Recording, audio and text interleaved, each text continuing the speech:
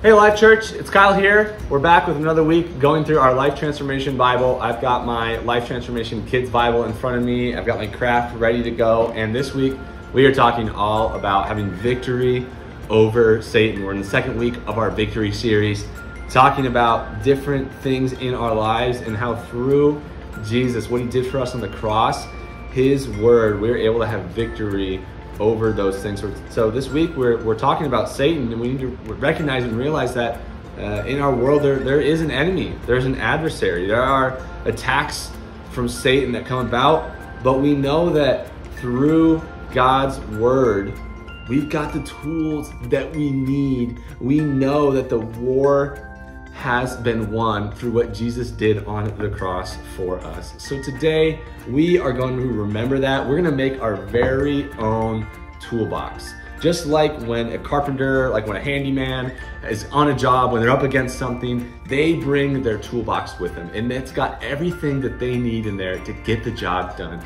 Well, what we're gonna do today is we're gonna make our very own spiritual toolbox in a sense. So what you're gonna need is you're gonna need a box of some sort. A tissue box works as well. I've got a little bit of a larger box here. I, I slit a little uh, top part in there. And then all you're gonna need is some pieces of paper and a pen. It's all you're gonna need this week. You can decorate your box if you want, um, or just any other box is going to do the trick. And so um, what you're gonna do is we're gonna talk about some different and write down some different phrases that are gonna help you when you are feeling brought down, when you are feeling low, when you need to remember what God has done for us and remember His word.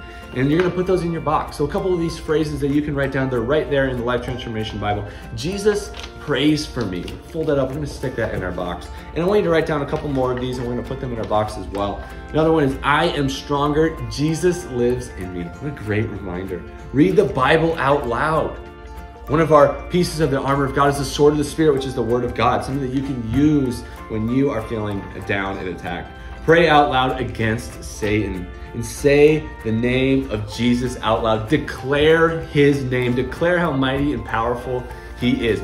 Fold all those up, put them in your spiritual toolbox, and maybe one day, each day this week, pull one of those out, repeat that phrase throughout the day, spend time in prayer with God, and, and go through the Life Transformation Bible. The memory verse this week comes from Colossians 2.15. In, in this way, he disarmed the spiritual rulers and authorities. He shamed them by publicly he shamed them publicly by his victory over them on the cross. That comes from Colossians 2:15. Remember that yes, we're in we're in a battle. And there's times when our lives it can be tough. It can be very tough.